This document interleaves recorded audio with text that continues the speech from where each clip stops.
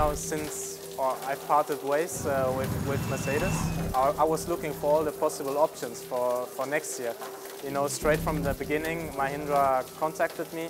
I met with Dilbagh and uh, he convinced me. You know, then I had a private test in, in Spain and so I met the team, I met all the mechanics, engineers. For me, it's a very good team to be in, competitive team, small, small team, but uh, with very high ambitions.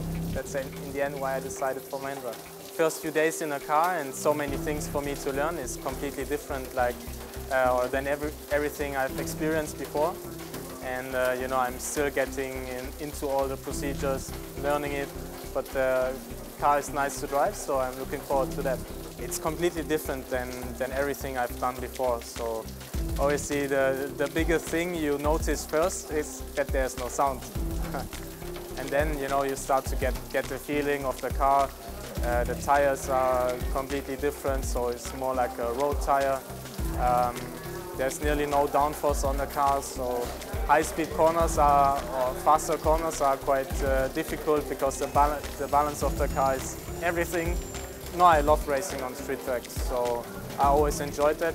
You know, one of my favorite places is Macau, so I'm, I'm looking forward to that. You know, in Formula E everything is so so tight, so on the street circuit is is uh, really hard to make no mistakes. If you make a mistake, you crash into the wall, but also you have to take the risk, otherwise, you know, if you miss a, a few tenths, you will uh, be somewhere in the midfield or in, in, in, the back. So you have to take some risk, which is nice on the street circuit because uh, that's really challenging. It will be difficult to learn them and get up to speed very quickly. So, um, you know, now for the test, my, my goal is to get all the, the things done and into my head, what I need to know about the car, about the setup and so on. And then so that I, when I'm coming to the race weekends, I just uh, need to focus on the tracks, on the, on the perfect line, and uh, don't worry too much about the car. Predictions is always difficult to say, but uh, my expectations of myself are always really high. So, you know, I'm not giving myself a lot of time to get used to everything and to get up to speed. I want to be competitive straight away and uh, hopefully then with a bit more time in the car I'm, I'm able to, to fight for the first few positions.